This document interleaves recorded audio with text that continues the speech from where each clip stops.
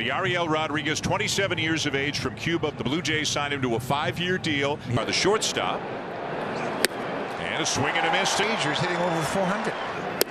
Swing and a miss. And he got him. The Rockies. And he got him. Strike three called him. Be the end of the first major league game for Yariel Rodriguez.